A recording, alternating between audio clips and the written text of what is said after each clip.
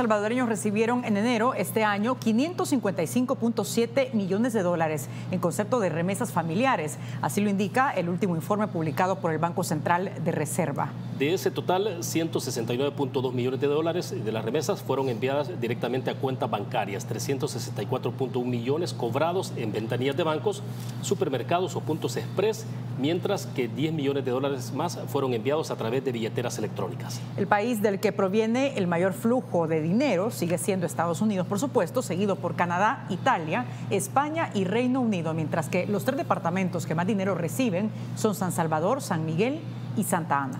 Los 552.7 millones de dólares que llegaron en enero representan un crecimiento de más del 7% al compararlo con los datos de enero de 2021.